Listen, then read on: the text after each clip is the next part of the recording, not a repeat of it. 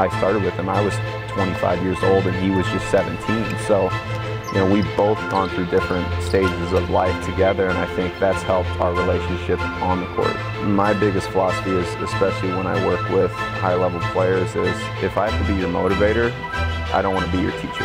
You know, I can't be both. And I think that's something that he's, I've never had to do with him. I've never had to say, Trae, we got to get to the gym. Like, it, a guy like this, it's like you have to get him away from the gym so he doesn't run his body into the ground too. Like I see Cam Reddish. Don't ever doubt me. Don't ever doubt me. All right, so one thing I want to know is, like guys like Trae are super talented, and sometimes it's like you're training and you might want him to do a certain thing, but throughout that he might do the footwork his way, or like he might, you know, as you're watching, you're like, oh, he didn't necessarily do that exactly how you taught it. Like, how do you draw the line between, hey, I want to correct this, or I want to want to let Trae kind of be Trae? Well, I think a lot of it is everyone's bodies are different. And just because something may be comfortable, like a lot of it is just from watching film of other players that we're trying to add right now in terms of like mid range. But the way Trae moves may be totally different from the way, in certain scenarios, the way Kyrie moves or Chris Paul moves. So for me, it's more about as long as it's off on time and it's realistic in terms of game speed and it's selling what we want to sell, it doesn't matter to me because it's like you know, you can sit there and nitpick, but as long as he's comfortable and he's going to get it off in games, that's really all that matters to me. Everything you did was like drill, live situation. Is that consistent through through all your players, or is that something with Trae just kind of being a gamer that you feel like he learns best when he's kind of put in a situation where he has to react and has to score a certain way? Well, again, I, I think Trae is very much a situational type player to where what I mean by that is when you put him in spots and he can start seeing it and reading and reacting, that's when he's kind of at his best because his instincts are just off the charts. Um, you know, how I try to approach his development is, all right, let's focus on the, the small parts of what we're trying to accomplish, and then let's put him against a live defender and see if he still has those same reads or what he's uncomfortable with because let's be honest, anyone can do exactly what you ask when there's no defense out there, but then when defense starts coming and pressure starts being applied, that's when players really start having to figure out what works best for them. So then I can kind of adjust and go from there. You know, he's a guy that's like, he can shoot from 35 feet. He's one of the quickest players in the league. But the whole time you guys are talking about mid-range, you're talking about his left-hand floater, talking about, hey, this can be a little bit better. Like, where do you think all-star starter, like, where do you think his kind of ceiling is, and is he even close to it? Um, well, when you talk about a guy that averages 30 and 9, it's hard to say he's not anywhere close to his ceiling. But I think for Trae, he's always kind of overperformed what people have expected him to. And he's a guy that wants to be one of the all time greats. And he knows to do that, he's got to keep improving. Right? Some of it just comes with age and maturity and experience. Um, but other things that are in our control, we have to make sure we're doing everything we can to kind of close that gap to you know, get him from where he is now to now leading a team that can make the playoffs or uh, potentially win a championship. So I think for Trae, it's something that makes him great, and probably what makes what I've seen with a lot of great players is they're always looking for, okay, what can I do now? You know, what's next for me? And I think that's something that he's always embodied. His shooting, you know, he he'll make five in a row. Even if he misses three in a row, it never feels like he's ever searching for necessarily an answer sometimes. Like you'll be like, hey, you know, get your follow through up or leave your left hand up, stick your landing, etc. Those teaching points kind of come from you. It seems as if his confidence, it's probably why he's a great shooter, is always like the next one is going in. Like where do you think that that matters on the scale of him being one of the best shooters in the league? I, I think one of the biggest parts, there's two main parts to me of shooting. Once you get the mechanics decently how you want to, because everyone sits there and says, okay, we got to do this perfect or this perfect, but the realistic part of it is is it comes down to how many reps you're putting in and how confident you are how confident you are with those reps that you've done. Um, so for him and it, I, am sure some people notice like i'm not trying to overteach or overcorrect you know because a, a guy like trae he's going to figure it out. So sometimes i need to give him that space to be in his own head and figure out what he did wrong rather than me always try to give him an answer you know? So i, I think the balance what we've what we've become very good at as a team because you know when Trae and I when we started when he was in high school this was always a team it's like okay how can I how can I serve you best to get you where you want to go, you know. Um, and you know, for me, it's more about if I can just supplement the little things that he needs. Like I'm not gonna, I'm not gonna take Trae from averaging 30 and 8 to 40 and 15. It's just not realistic. But we can close the gap with little things. So, you know, there are instances where I do see something that's wrong, but I choose not to say anything. And that's, I think, something that's different from me training a guy like Trae, who's talented enough, who needs to figure that out on his own, rather than train a sixth grader that may need me to stop and correct right then and there. And kind of speaking on that, it's, you know, you focus on the mid range, you focus on these things he needs to get better at. And to be honest, like the mid range is, it's a glaring, not a glaring problem, but you can look at the statistics and be like, hey, he's not comfortable here, but he's so good at the other stuff that it doesn't necessarily matter. Like even if the defense wants him to force him a certain way, like the players in the NBA are so good at what they're good at that they can kind of always get to it. Can you kind of speak on the fact of like the best players have the stuff that they're really good at and kind of hang their hat on?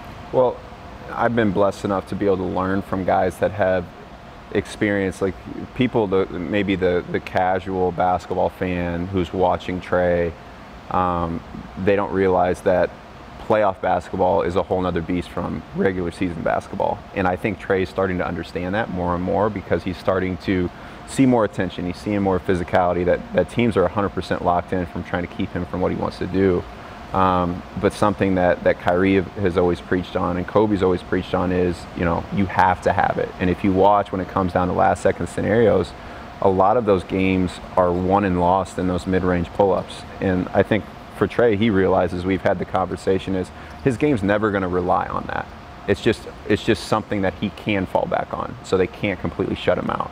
Um, so you know when we're talking about adding the mid-range, you're not going to see Trae shoot six to seven mid-range shots a game. It may be one or two. Does he learn, you know, players that are that good?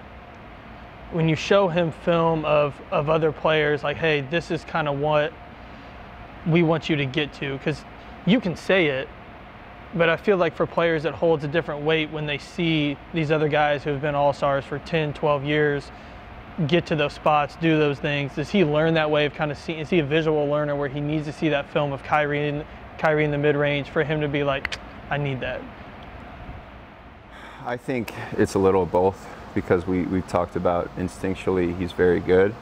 Um, of course, any player that when you show them a guy that's been successful or, or, a woman that's been successful doing things a certain way and that have won doing that, that's that's what what I'm trying to get through to him, and he understands that is okay. Well, here's what Kyrie is what really makes him great. Now, and Trae mentioned it when we were, we were talking about film is there's a lot of things that Trae does that maybe Kyrie can take too. So you know, and that's the hard part is what Trae's become very good about is and is just dropping the ego because if you want to get where you want to go, you can always learn from someone. Right? There's someone in the league that may be doing something better than you because it's such a specialist league. Um, so I, I, think when he sees it on film and then we implement it to on court and then he starts feeling it and playing around with it, that's when you kind of reach your goal a little bit quicker.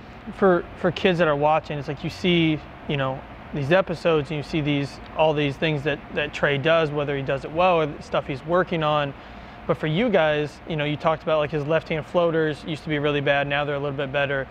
Now the big focus is kind of his mid-range. Can you speak on the fact of like this is you've worked with him since high school, so it's step by step, not, you know, one summer you're trying to throw 14 different things at him to, to kind of elevate his game, but it's like slowly getting better at this and then adding this and then adding this.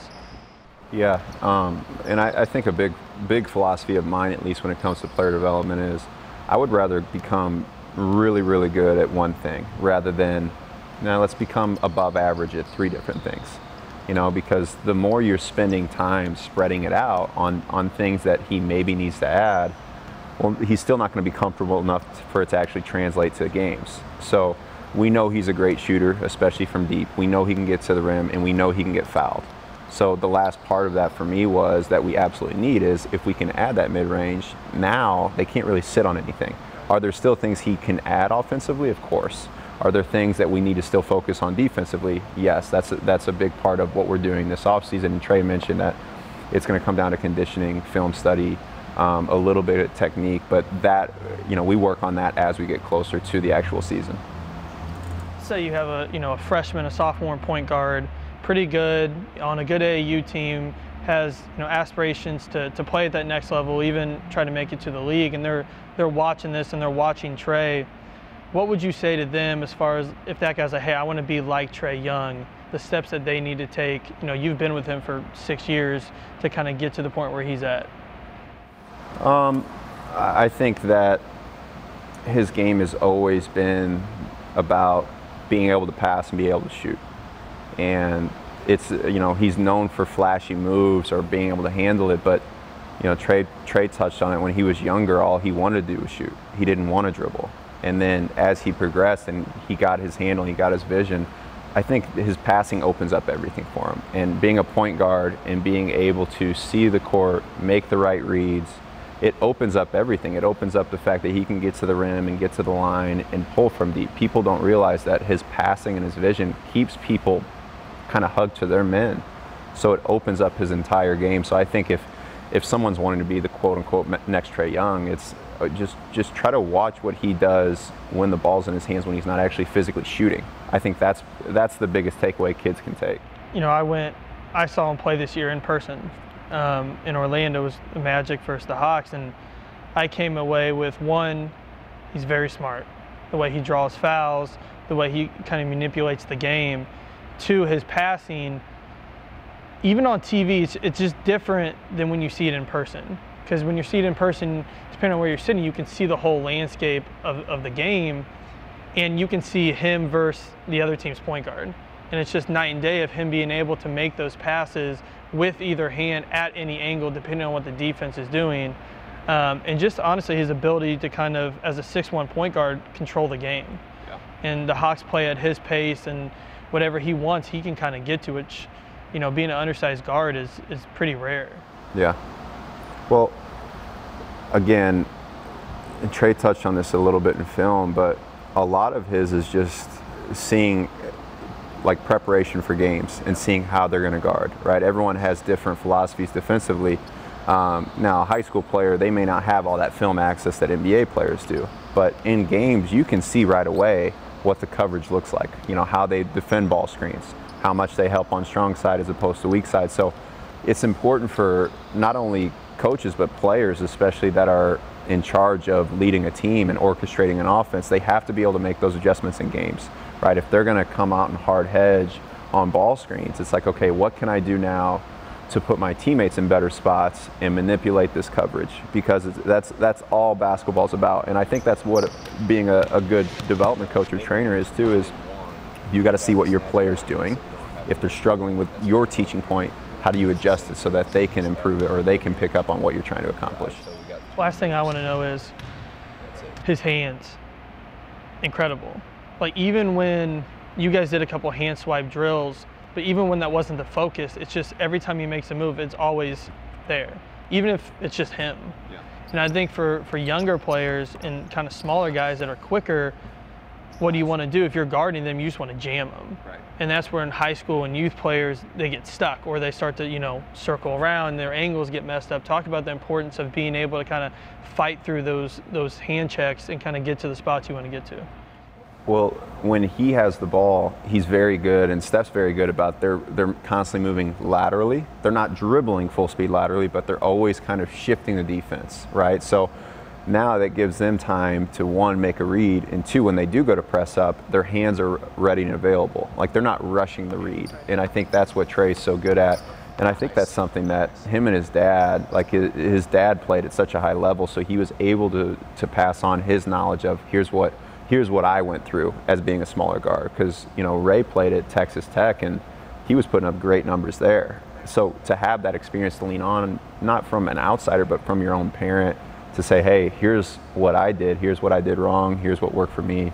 Um, I think, you know, Ray Rayford has been probably the biggest, um, definitely the biggest part of his development and I think that's why Trae has gotten to a certain point. Like you know, a lot of people say, okay, well, who who are they training with? But it's like, who did who got him there, and now how do we get him from where he is to the next level? Because it doesn't matter where you are, you can always improve. But that foundation was built um, with Ray, you know, putting him through just very simplified drills and, and getting him and just talking to him about the game and watching games together. I think that's something that's incredibly powerful. Yeah, I mean, I think it's, you know how it is. You know, if even if you work with a high school kid or middle school kids, you're not with them five days a week.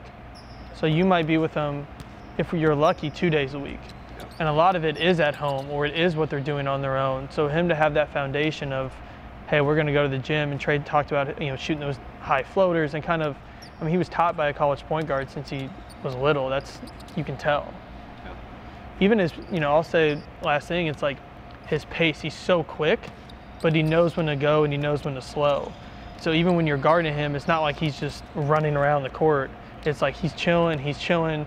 And you guys spoke on it a little bit. He almost waits till the defense reaches or the defense decides what they're going to do, and then boom, he has his counter to it, and there's really nothing you can do about it. Yeah, well, I think that's that's something that any player that is, you know, given the given the responsibility to handle the ball and to make plays, is you can't always rush what's going to happen, right? A lot of players get in trouble when they try to predetermine a read, and Trae never does that. Trae's very good about, all right, what's the defense giving me? What's the defense trying to make me do, right? Sometimes you don't just want to take what they give you because that's probably what their scout is. Let's let's force Trae into X, Y, Z, and he's saying, okay, well, why am I getting this shot? So when he comes down the floor, it's like, okay, I have this shot. All right, I, I might take this one. Now, the next time it comes out, it's just kind of like a chess match, right? And Trae's ability to kind of score from three levels um, with this floater and adding that mid range, it, it, doesn't matter what they give you in terms of like a problem, he's always going to have a solution for it. And I think that's, that's something that he's continued to progress on as he's gotten older. He's getting stronger now, so he's, he's, he's able to kind of do what he wants, but um, what he's got to he's gotten best at since probably college is he's not settling as much, right? A couple times he'll come down and he'll just take a heat check because he just feels like taking a heat check. And now he's not more so letting the defense get him in those situations. Um, and I think that's why you're seeing his efficiency go up. What's he need to do to to reach that next level?